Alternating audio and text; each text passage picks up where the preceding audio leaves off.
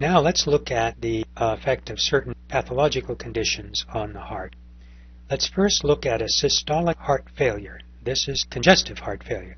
The heart cannot generate the same amount of force. During systolic failure, the heart is unable to push blood over to the arterial side, leading to a high venous pressure. Blood is beginning to pile up on the venous side, causing an increase in stretch of the heart. Now, because of the Frank-Starling relationship, moving from this point over to this point here causes an increase in contractility, leading to a nearly identical stroke volume, 75, it was 79, and arterial pressure. It's 116 over 79, it was about 120 over 80. This can't continue, however. This will continue to move to the right, and we'll notice a massive reduction in arterial pressure as heart failure proceeds. If we look down here, we can see again increase in end diastolic volume, increase in end systolic volume. Little change in actual arterial blood pressure. Notice also that the atrial pressure has risen. The breadcrumbs show it should have been down here because of the increase in venous volume. Let's look at a diastolic heart failure. This is the result of increase in fibrous material, fibrotic heart, so that the heart has a hard time stretching. It's losing its compliance elasticity is increasing. Now we can see that the heart cannot fill. As a result, we see a smaller stroke volume once again, but look at what's happening here to the pressure volume loop, and we can see that down here. Atrial pressure is beginning to rise quite a bit.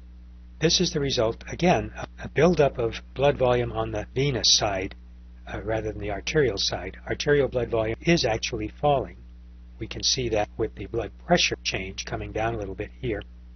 So this heart is having a harder and harder time filling. As a result, it's going to have an increasingly difficult time emptying because the Frank-Starling relationship is also inhibiting the contractility of the heart. Now let's look at some valve defects that could occur. In this case, we've got mitral stenosis. Now the mitral valve is failing to open properly, so blood is not leaving the atrium, and therefore we can see a large rise in atrial pressure here and a fall in ventricular pressure. The blood is piling up in the atrium, not getting into the ventricle as it's relaxing. So we see a big difference between atrial and ventricular diastolic pressure. We see a decrease in end diastolic volume resulting from poor blood flow from the atrium into the ventricles. Also, the ventricles now are having a hard time ejecting the blood because the Frank-Starling relationship is reducing contractility. As a result, our arterial blood volume is falling and our venous blood volume is rising arterial blood pressure is falling. We see that down here, the yellow solid line as opposed to the dotted line here, which was the normal line. So volume and pressure on the arterial side is falling, volume and pressure on the venous side is rising, mitral stenosis. Let's look at a mitral regurgitation. Mitral valve is failing. So in this case, when the ventricles contract, and they begin contracting at this point over here, blood is leaving the ventricle and entering the atrium because the valve is failing, the mitral valve is failing. We can see it down here. We're now showing a rise in pressure in the atrium. And once again, both atrial pressure and ventricular diastolic pressure are higher than normal. Now, as the ventricles continue contracting, the first thing that's happening is blood is moving into the atrium, and then suddenly the pressure rises high enough to open the aortic valve, and now we see ejection out into the aorta. And again, isovolumetric relaxation and filling. We can see here, it's hard to see underneath that writing here, the drop in ventricular volume during what is normally the isovolumetric contraction period, but it's not isovolumetric at this point.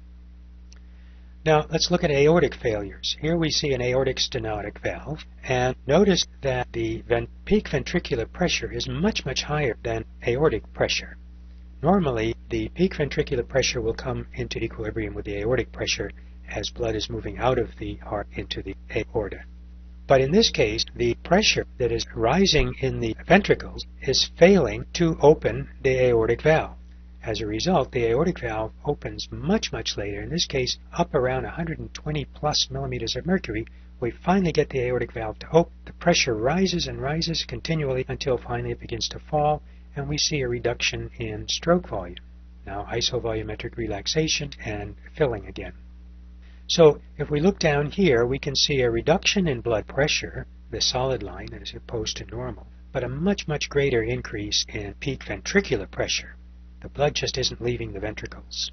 This is leading once again to a low blood volume and low blood pressure on the arterial side and a high blood volume and blood pressure on the venous side. And we can see that with an increase in atrial pressure.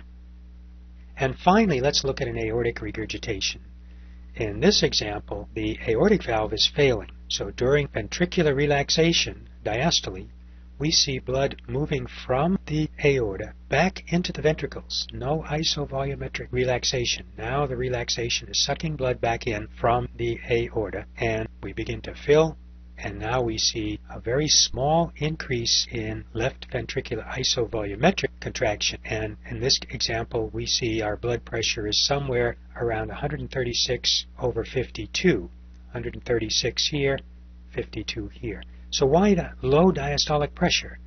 The blood that is normally in the aorta during diastole is moving back into the heart, bringing arterial diastolic pressure down very low. I've seen arterial diastolic pressures fall well below 40 millimeters of mercury and rise well above 150 millimeters of mercury on the systolic side. So this is an aortic valve failure. We can see the same thing happening here. And here's the non-isovolumetric relaxation in the green line coming up here. So we're seeing an increase in arterial pressure the primary reason for the increase in arterial pressure in this example is a large increase in the Frank-Starling relationship, increase in ejection of blood, and in this individual, uh, over the long term, there's going to be an increase in the blood volume regulated by kidneys. One last thing, in the lower right corner here, we can see cardiac output equals heart rate times stroke volume. In this case, cardiac output is almost 5 liters per minute, heart rate is 63 beats per minute, stroke volume is 79 milliliters, or 0.079 liters. If I increase the heart rate, we can see a decrease in end diastolic volume. The heart does not have as much time to fill, so end diastolic volume is going to go down. Cardiac output is now 5.9 liters per minute. Stroke volume has fallen to 66 milliliters, and heart rate has risen to 90 decreasing heart rate, we see the opposite effect, increased filling time, increased stroke volume uh, due to the Frank-Starling relationship, decreased cardiac output primarily because of the decrease in heart rate. Now we're going to superimpose the pressure volume loop on top of the systolic pressure curve, the Frank-Starling relationship, and the diastolic pressure curve, the relationship between passive stretch and elastance. If we now decrease the systolic pressure curve. As a function of heart failure, the systolic pressures come down, the increase in preload has moved us over here to the right, the increase in the Starling effect causes any greater ejection than we might expect with heart failure, bringing us back up to a fairly normal stroke volume and blood pressure.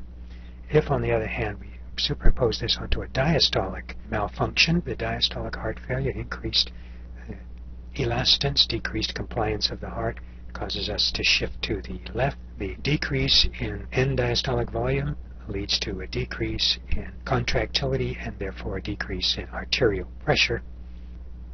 If we now look at, again, the heart failure case, here we just saw a decrease in the systolic pressure curve associated with congestive heart failure, but we see a fairly normal stroke volume and a fairly normal blood pressure.